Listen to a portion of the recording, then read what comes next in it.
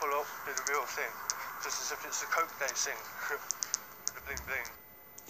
So, just in case you're out in so-so in the street and you think it's sweet to pick up drugs, it ain't.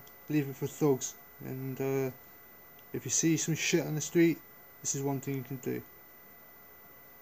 Keeping it real. What the fuck is that? Beeline. We have spotted a bag of beeline, which would otherwise make certain people fine. it's melted into the bag. However, never pick up shit on the street. That's what Charlie says, it ain't sweet. In fact, we should put that in the bin. Put it in the bin, innit? So here we are, to the left to the right. Got some opportunity in sight. We're going to take this outside, like I said, the site, pop it in a fucking bin where nobody's going to be popping, nobody's going to be stressing. Whoever dropped it, that's your shit. Goes no further, nobody else quit their life because of what you fucking dropped. And they're like, yo, that'd be nice. They're like, yo, don't need to say that twice? Never pick up streets, never pick up shit from people you don't know or where you